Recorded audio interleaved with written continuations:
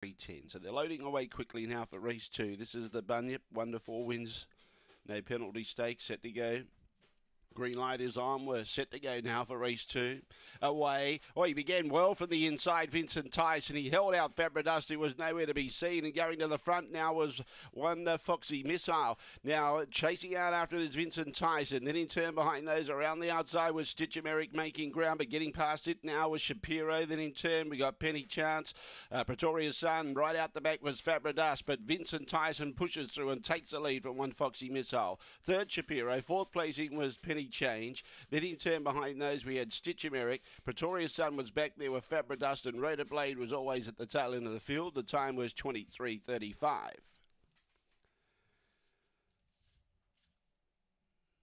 Good jump by Vincent Tyson for him.